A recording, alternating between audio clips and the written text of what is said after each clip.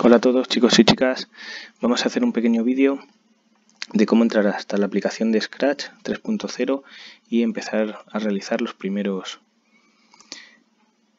los primeros retos de, de, los capítulos, ¿vale? Primero tenemos que abrir un navegador, puede ser, mirad Google Chrome, aquí está Internet Explorer o este es Microsoft Edge. Tenéis algún otro o el que queráis, ¿vale? Abrís por ejemplo Google y escribís en la barra de dirección Scratch ya os va apareciendo.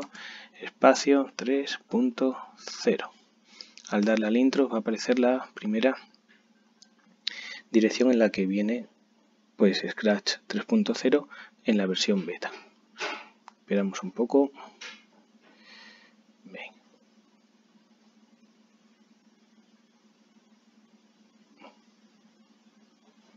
Aquí lo tenéis. Scratch 3.0 y lo tenéis aquí, veis, beta.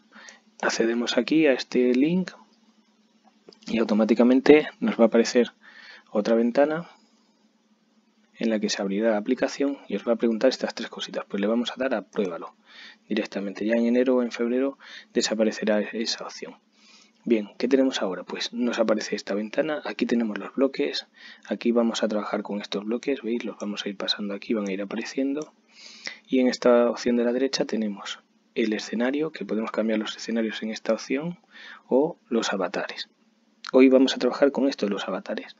Cada vez que nosotros escogemos un disfraz, por ejemplo un objeto, hacemos aquí clic sobre el gato y nos vamos a disfraces. Y esta va a ser la herramienta que vais a con la que vais a trabajar vosotros hoy. Tenéis aquí dos disfraces para un mismo objeto, un mismo avatar. Os dais cuenta aquí solo aparece la imagen de un objeto y en los disfraces aparecen varias. Podemos editar estas imágenes. Por ejemplo, imaginaos que queréis cambiarle el color al gato. Pues aquí ponemos, porque viene morado por defecto, pero podemos ponerle un azul o lo que vosotros veáis, ¿vale? En esta opción podéis Elegir un objeto de la librería. Los veis, están todos aquí. De lo que os guste. Animales, gente, fantasía, el que queráis. Vamos a coger ahí ese centauro. ¿Veis? Nos aparece aquí este centauro y ya tenemos dos objetos en, el escenario.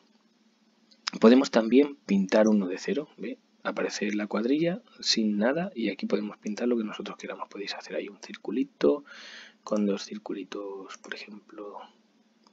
Vamos a cambiar vamos a ponerle dos circulitos negros como si fuesen los ojos a ver, quitamos el brillo y aquí lo tenemos le hacemos así dos circulitos y ya, y empezáis a hacer vuestras primeras caras, ¿de acuerdo?